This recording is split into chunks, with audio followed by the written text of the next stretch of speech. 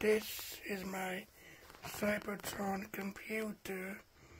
I tried to log into it the other day. My monitor went to sleep, and I tried to wake it up, and it wouldn't wake up. Has anybody had that problem? So, I'm thinking about getting a new computer. Should I get an NVIDIA computer, graphics card, a Radeon graphics card? This computer is from 2009 and it has a NVIDIA GT640 graphics card in it. And thanks for watching the video. Till next time. Bye bye.